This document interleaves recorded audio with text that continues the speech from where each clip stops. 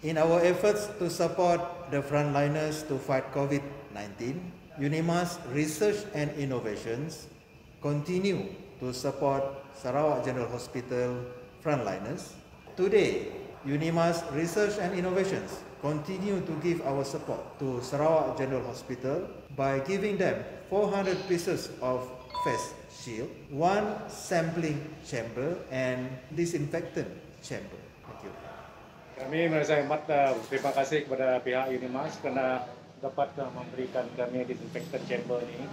Dapat juga lah yang membantu kami dalam uh, menyakimar sebelum mereka masuk ataupun selepas mereka menjalankan tugas di dalam. Banyak, banyak perhargaan daripada pihak hospital, kepada unit pihak Unimas lah, kerana sudi menerima perkhidmatan yang sangat berguna. Terima kasih.